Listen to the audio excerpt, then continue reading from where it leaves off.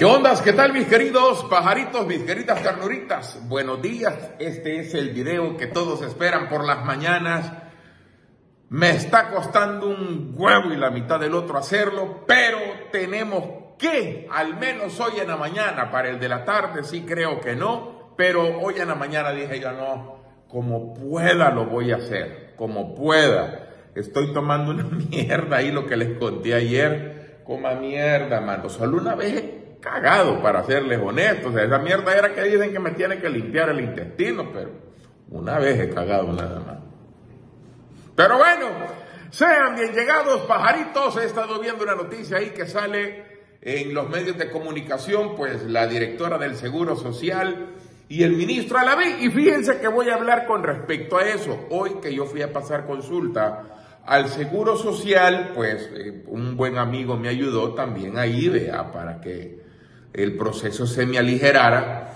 Pero ya cuando estábamos eh, esperando ahí sentaditos, cada uno para pasar con los médicos y todo eso, pues los procesos hasta ahí que yo vi, yo vi, hasta ahí todo normal, todo bien, muy atentas las, las personas, ahí habían estudiantes, enfermeras, la doctora Pérez, tengo entendido, ahí en el seguro que me atendió, muy amable, eh, diciéndome usted cualquier cosa, tiene que venirse de emergencia. O sea, aquí estamos para atenderlo, así, sin tanta paja. Y qué bueno, loco, qué bueno que en el Seguro Social hasta el momento. Pero hay una situación pensando yo, porque estaba oyendo a unos señores ahí que habían venido a una consulta, ¿sí? Habían venido a San Miguel a una consulta y el doctor no llegó puta, dicen ellos, y nosotros gastando y que no sé qué. Yo siento, no sé, pensando mierda, yo vea que en, eh, que en el seguro o en los hospitales para este tipo de situaciones debería de haber como que unos doctores eh, que estén ahí para cubrir ese turno de algún médico que no llegue, no sé, se me viene a la cabeza parte de las ideas, creo yo, vea, que no son malas, pues, porque puta, hay gente que viene de lejos, ¿no das? Hay gente que se la lleva puta. Eso oía los señores yo que tenía ahí a la par, que con la doctora que íbamos a pasar, porque iban adelante de mí, puta, era la que les habían referido nuevamente. Entonces, pues yo pienso de que el seguro y el Hospital Nacional deberían de tener como médicos ahí esperando por si un doctor no llega, para que las personas pasen consulta y no vengan de choto, no gasten lo que no tienen. Eso parte de las ideas. Pero bueno, vamos a, poner algo ahí porque fíjate de que... Salvaguardando la, población salvadoreña. Lo que ese día se ha Vamos a poner, eh, ¿cómo se llama? Este, un video donde habla la señora Mónica Ayala, como les decía yo, que es la directora del IS, tras la aprobación, dice, de la ley de especialidades de las profesiones médicas. Por ahí estaba diciendo que va a evitar, va a evitar la charlatanería, va a evitar la mala praxis, dice, porque hay profesionales que están ejerciendo procedimientos que no están en su competencia. ¿A qué se refiere con eso? Veamos el video de la doctora y de la señora y ahí está también a la vi. Buenas tardes a todos. Este día nuevamente el gobierno del presidente Bukele y esta nueva asamblea demuestra que vamos a continuar salvaguardando la vida de la población salvadoreña.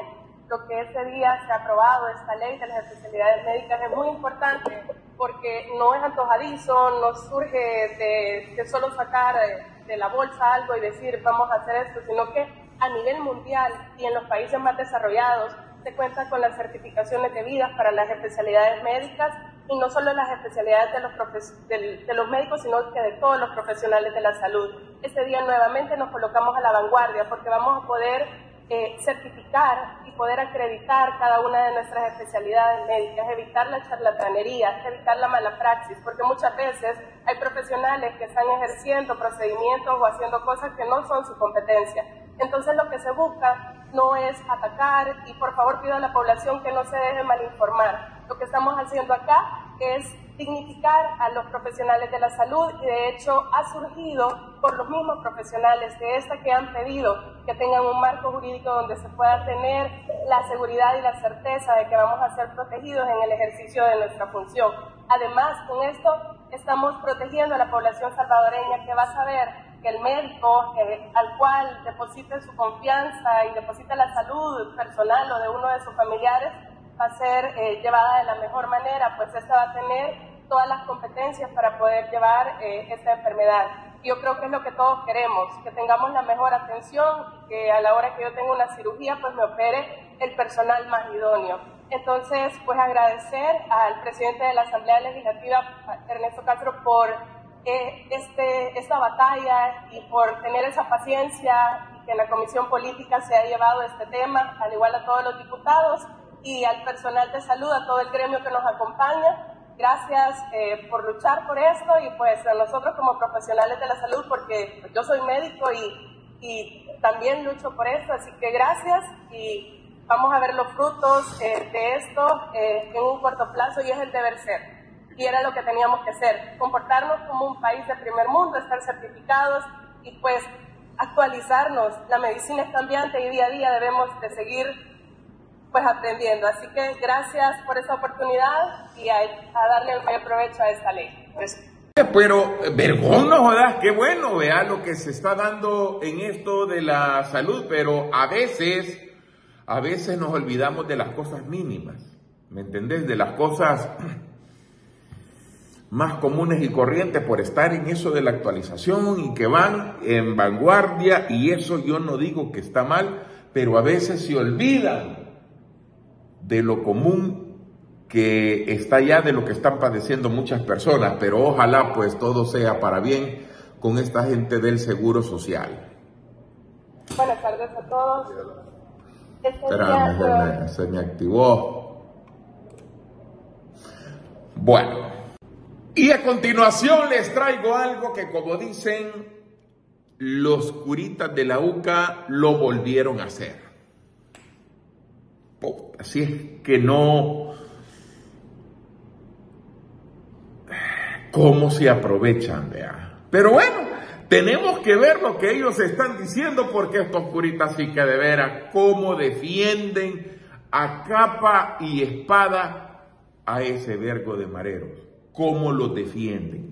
Neta, palabrita, loco. ¿Qué? ¿Qué hijos de puta, digo yo?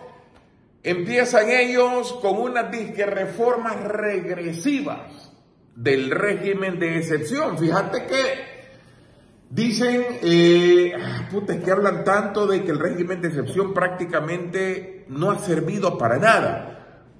Según lo que ellos dan a entender que el régimen de excepción no exista. Yo, repito, en lo personal, no me siento mal con el régimen de excepción. Y así, muchísimos Ay, hijo puta.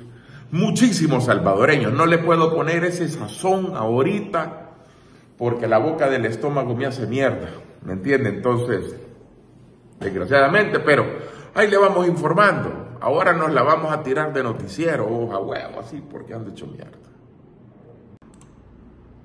También esto genera distintos problemas. El primero es que la generalidad de las disposiciones que actualmente, que tampoco siguen una técnica legislativa correcta, abre la posibilidad, y esto es de los aspectos más graves, de sustituir la responsabilidad individual, que es básico en el derecho penal. Es decir, cuando una persona es detenida en materia penal debe ser individualizada la participación que ha tenido en el cometimiento de un delito. Y esto se sustituye por una responsabilidad colectiva, es decir, que las personas sean acusadas e incluso potencialmente condenadas por una atribución genérica de lo que han realizado, de los hechos de una organización, como sabemos el delito que se les está atribuyendo es el de agrupaciones ilícitas, pero sin individualizar esa responsabilidad penal y con esas disposiciones pues también queda esa problemática de eh, no individualizar qué es lo que ha hecho cada una de ellas. El elevado número de capturas arbitrarias también, hay más de 78 mil personas detenidas y este es el riesgo de cómo van a ser procesadas estas personas, más allá de las audiencias masivas que ya han existido, cómo se va a dar continuidad también a estos procesos. Sabemos también que al inicio del régimen de excepción se había establecido la cuota de capturas el segundo riesgo que enfrentan también, aparte de la no individualización de la responsabilidad penal, es la reducción de los estándares de calidad y verificación de las pruebas y el debido proceso, porque no se establece con certeza todos estos elementos probatorios que se deben de aportar en el proceso. Eh, ¿Cuáles son las características de las víctimas? En principio, eh, persiste la criminalización, particularmente de la juventud. Esto es algo que hemos venido señalando básicamente desde el primer infográfico que sacamos como organizaciones. Eh, vemos con mucha preocupación la criminalización de jóvenes en sectores particularmente empobrecidos estigmatizados eh, ante políticas eh, meramente represivas que solo eh, toman en consideración eh, como elemento central y fundamental la represión del delito y sobre todo la represión de las personas desde lógicas de estigmatización que realmente no están buscando la justicia, sino que están buscando venganza, castigar a la, a la población en una lógica de detención masiva. Eso genera violaciones de derechos humanos, genera impunidad y permite generar también condiciones para que la policía y las instituciones de seguridad se involucren también en la comisión de delitos. Sí, las consecuencias en materia de violaciones a derechos humanos que puede generar el régimen de excepción a mediano o largo plazo, creo que no las terminamos de dimensionar todavía, eh, justamente por la complejidad que esto implica, porque el régimen de excepción no solamente afecta a las personas que han sido detenidas arbitrariamente, sino en general el núcleo familiar, también, por ejemplo, el tema de los jueces sin rostro. Este caso es bien complejo porque ya la Corte Interamericana de Derechos Humanos se ha pronunciado sobre ello en un caso contra Perú y la consecuencia fue volver a hacer esos procesos. No sabemos si eventualmente eh, va a haber algún tipo de sanción al Estado de El Salvador por todo lo que está realizando en materia de, de- de violación a derechos humanos, pero es una posibilidad dado el antecedente que existe. En Perú esto fue volver a hacer 3.000 procesos. En este caso, no sé si nos tocaría volver a hacer más de 70.000 procesos. Y nuevamente salen los de Chistosal juntamente con los de la UCA. Mira, estos de Chistosal es un grupo de terengos que, pues como perdieron el poder, ahora ya no hayan cómo estar jodiendo. Y se ponen a hacer eh, o a decir cualquier tipo de pendejada. Y está bueno, pues tienen razón, así como yo hablo cualquier tipo de pendejada. Pero fíjate que por aquí tengo algo que se lo voy a leer. Dice la organización opositora dedicada al activismo político, Chistosal, sacó un reporte donde dicen que el total de muertes bajo el régimen de excepción es de 241. Están hablando de los que también mueren en las cárceles. Repito, yo no es que estoy diciendo, ah, qué vergüenza que mueran. No, no, no, no, no, no, momentito. Es lamentable. Pero si nos vamos a los números, cuando estaban los otros gobiernos, estos han muerto, por decir algo, desde el régimen de excepción y antes. Habían muchas más muertes anuales en otros gobiernos por diversas enfermedades. Pero bueno, dice 241 muertes de presos en dos años. Eso es muchísimo menos de muertes en cárceles que en años anteriores, lo que les estaba diciendo, vea. Por supuesto, dice que los erotes que sacan fake news como los del Faro y otros más no hacen un trabajo periodístico de rigor para informar y elaborar un cuadro comparativo. Ellos solo buscan atacar y desinformar. Lógicamente, lo único, lo único, lo único bonito, así como el video ese que les puse, donde salen los de la Iduca y los de Chistosal, esa mierda solo lo hacen para generar ataques en contra del gobierno. Punto. Y repito, el gobierno no está haciendo las cosas así como que perfectamente, pero con lo que respecta a la seguridad, el gobierno la está metiendo doblada. Pero veamos, muertes en penales siempre han existido en El Salvador. Actualmente en El Salvador dice a marzo de 2024, de 118 mil presos en total que hay, de, es una tasa del 20%, pero bien, significa muchísimo menos que el pasado y considerando que son dos años. Vamos a ver, para el 2017 el total de presos era de 39 mil. Habían eh, muertes, 159 muertes anuales. En, a eso quería llegar. 159 muertes anuales.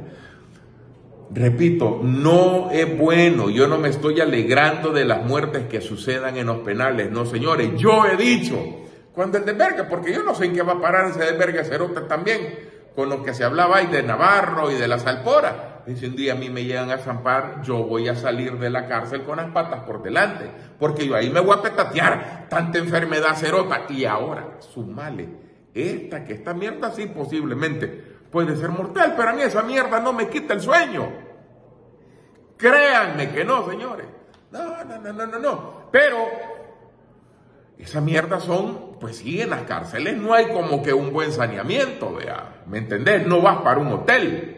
Y, si, y, a, eso le agregás que llevas un vergo de enfermedades, así como yo, yo, yo salgo por las patas, con las patas por delante, pues, sin tanta paja. Simón. Y en otras cosas, la... La, ¿cómo se llama, hombre? La momia chinola humaña, señor. Dice que a todos aquellos, yo casi no uso la red social Twitter o X, eh, pero esa, esa red social es muy activa. Entonces, pero dice que todos, porque ahí hay bastantes eh, connacionales que escriben que están a favor del gobierno, pero ahí va.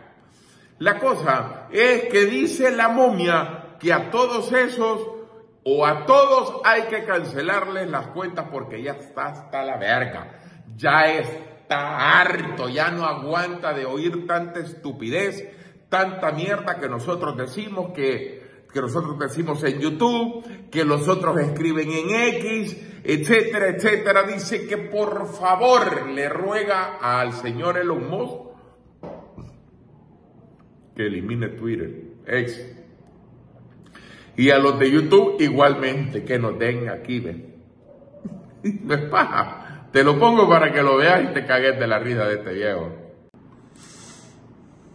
Pero bueno, quiero que veamos la parte de los youtubers y de los eh, troles de nuevas ideas, ¿verdad? De Nayik. Aparte que antes de entrar al programa, Raúl, por ahora me entretuvo un par de minutos, me cayó una noticia de, X, Twitter, antes, X, que dicen que hoy están revisando eh, cuentas troles, cuentas bots y no sé qué otro término utilizan ahí para limpiar Twitter. Excelente medida, licenciado. Excelente, hombre, mire qué alegría. Ojalá, ojalá barran la parte del Salvador, de ahí de la diáspora nuestra. Ojalá les peguen una barrida. Pero bueno, quiero que veamos la parte de los youtubers y de los eh, troles de nuevas ideas, ¿verdad? De Nayik. Así que a petición de la momia, posiblemente o muy pronto nosotros ya no estemos aquí en las redes sociales porque ya dicen que ya no hay.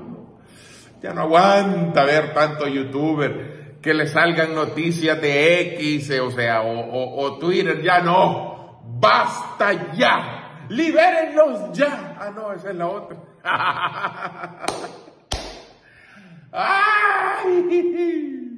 Y antes de terminar, quiero decirte, por supuesto, mis queridos pajaritos, mis queridos amigos, que ahí les dejo a los amigos de Leslie Rentacar, encargados de mantener este programa, uno de los patrocinadores de este programa, pero definitivamente yo no los tuviera como patrocinadores, aunque porque sí, yo les cobro, yo cobro, no, no ando con mierda, no. Si yo no supiera que estos señores en realidad tienen calidad de vehículos y calidad que no me van a dejar a un hermano con nacional por ahí tirado o a cualquier persona que les rente un vehículo. Si no, yo le dijera, mira Samuel, Neles papá. No. Sí, yo ando, no ando con mierda, señores. Es cierto que es billetillo, pero yo no. Mi, cara no va a quedar mal. Al menos. ¿Me entendés? ¿Estamos? Así que gracias a ellos, donde usted quiera, le entregan su vehículo, donde lo necesite, allá en el aeropuerto, ahí se lo llevan, ahí lo entrega usted sin ningún problema.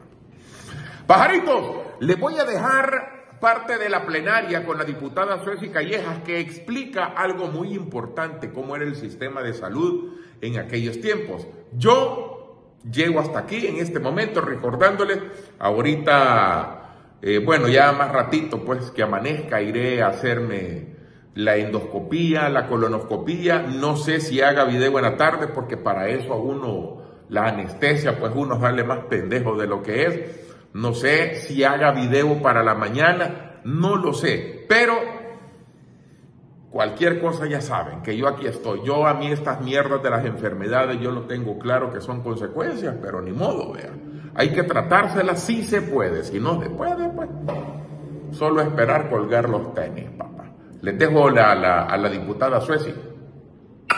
Ricos besitos. en el chiquistriquis. Tiene la palabra diputada Sueci Callejas. Gracias, señor presidente. Buenas tardes a todos los médicos que nos acompañan y también buenas tardes a la directora del Instituto Salvadoreño del Seguro Social y a nuestro ministro de Salud. Para quienes recién nos sintonizan, quiero hacer un pequeño recuento de lo que ha significado el estudio de esta iniciativa en la Comisión Política. Se recibieron aportes de la Federación de Profesionales de la Medicina FEDEMED, que fueron además quienes eh, solicitaron al presidente de esta asamblea, el señor Ernesto Castro, que se pudiera poner en estudio el hecho de una, una regulación para los médicos especialistas y subespecialistas. Eso es algo bien importante de señalar porque básicamente el mismo gremio médico pide regularse. El ministro de Salud se escuchó también su opinión, el Consejo Superior de Salud Pública, la Junta de Vigilancia de la Profesión Médica, a la directora del Instituto Salvadoreño del Seguro Social, al Departamento de Enfermería del Seguro Social, a la Asociación Nacional de Enfermería Salvadoreña, a la Asociación de Prostodoncia del Salvador, a la Sociedad Dental del Salvador y a la Junta Vigilancia de la Profesión Odontológica. El objeto de esta normativa que estamos estudiando el día de hoy es crear un ente encargado de controlar y regular la autorización, certificación y recertificación de las especialidades médicas en las diferentes áreas de salud. Con esta certificación se logrará además que el gremio médico se actualice y se forme, lo cual beneficiará a los pacientes porque recibirán una mejor atención médica, además más segura y de calidad porque estaremos garantizando que estos médicos al momento de recertificarse tienen que estar actualizados. El colega, el diputado José Urbina, ahora alcalde electo, eh, ha explicado perfectamente cuál es nuestra situación actual en el país. En ningún momento esta regulación pretende ser una cacería de brujas a los médicos o a todos los trabajadores de la medicina. Al contrario, estamos escuchando lo que ustedes mismos han solicitado y estamos, de hecho, el texto de esta ley es no solamente lo que ustedes han propuesto, sino además se han retomado las opiniones de cada uno de los representantes que aquí vinieron. Sí han habido malpraxis en el país, somos un país en donde se demanda poco, somos un país en donde por años la gente siempre ha pensado incluso que no debería ni siquiera molestarse en demandar porque nadie le va a hacer caso. ¿Cuánta gente se ha ido a su casa? ¿Cuánta gente ha perdido? Ya sea una extremidad, le hicieron el procedimiento médico que no era necesario. ¿Cuánta gente perdió un ser querido?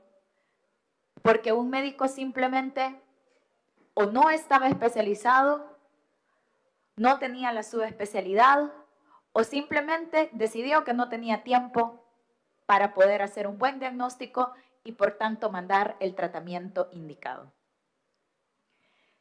La idea con, esta propuesta de ley es que se crea un Consejo Nacional de Especialidades Médicas, el cual será el encargado de emitir las credenciales de especialidades y subespecialidades para los profesionales en el ejercicio de la salud, tanto humana como veterinaria.